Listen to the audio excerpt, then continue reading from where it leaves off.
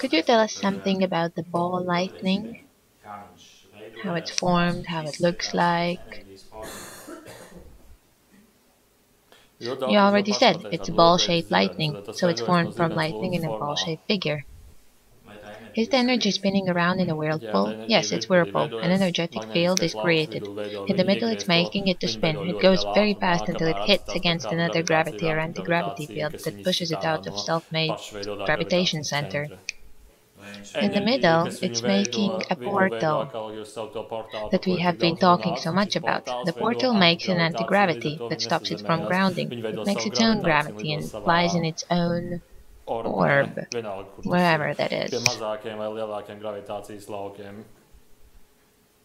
Is it created from alternating current or direct current? None of them. From what then? Well, it's energy. These your named currents are created because of grounding. They're looking for this grounding.